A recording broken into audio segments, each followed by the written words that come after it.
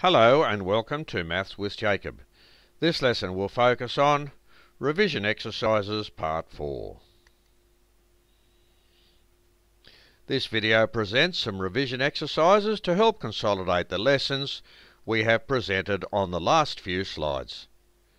So as I present each slide you can pause it for as long as you want and as I've said in the previous slides you may choose to write the answers on a sheet of paper and you move on to the next slide whenever you're ready.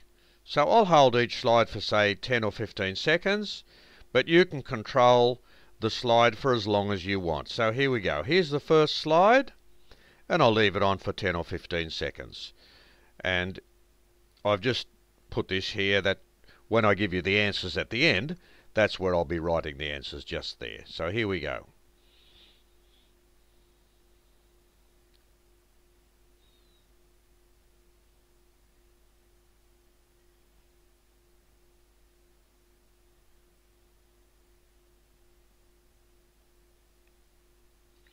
And here's the second slide.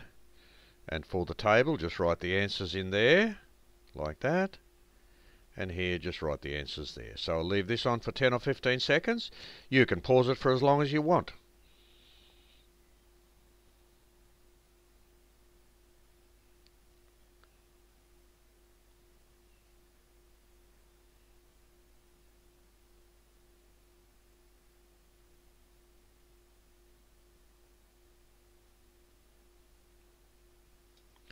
And here's the last slide before we present the answers.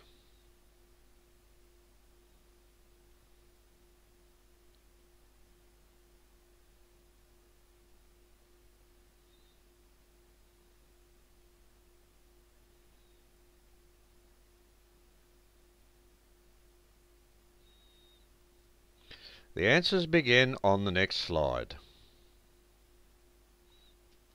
So here they are the answers for the first slide, and you can check that at your leisure. I'll leave that on for a little while before I move to the next slide, which also contains answers.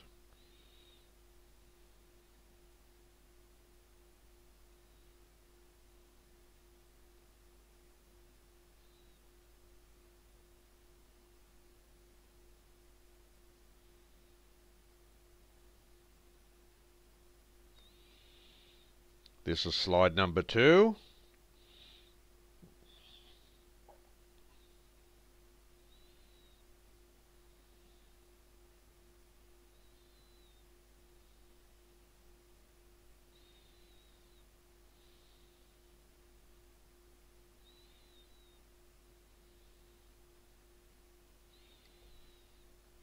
And that's the last slide.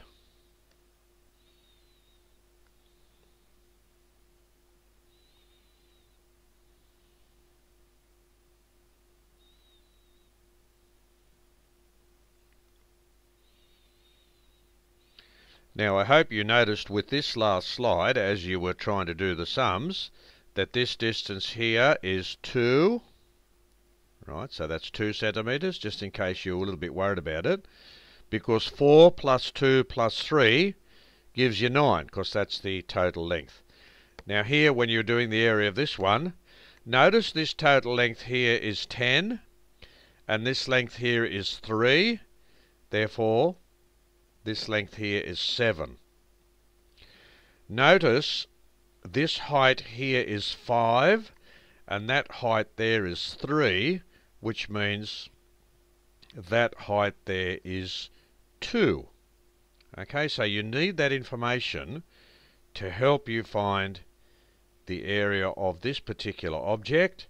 And finally, this is the last hint I'll give you. You can divide the object if you like into two rectangles like that okay? So you have one rectangle there and you have the other rectangle there. So that's all the hint I'll give you.